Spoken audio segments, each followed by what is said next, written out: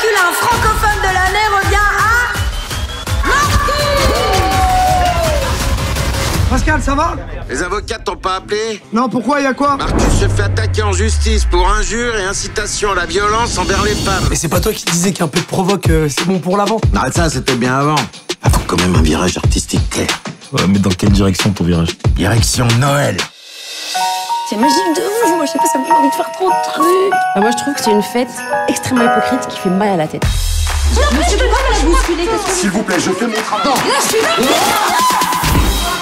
Excusez-moi. Salut On m'a dit d'attendre ici. Je j'attends les flics de toute façon. Ben moi j'attends mon Uber. Marcus Y'a le taxi, vas-y, viens, on y va.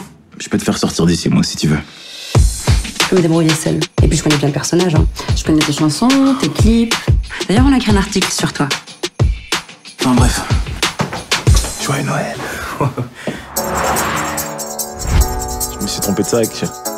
J'ai envoyé un conseil pour échanger les cadeaux. Non, non, je m'en occupe. Ça me fera sortir un peu, mais... C'est qui ce, ce charmant jeune homme Bonjour, madame. Marcus. C'est notre invité, hein, euh, il passe Noël avec nous. Non, non, non, connais pas et il est complètement miso. Wow. C'est du féminisme au washing. C'est pour se racheter une image d'innocent. Bah, il a voulu jouer. On va jouer.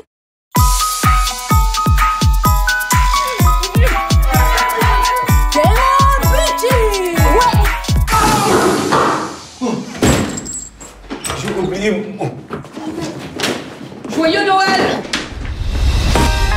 Pourquoi t'es là en fait? Non seulement on se connaît pas, mais on ne ressentit pas de l'un de l'autre.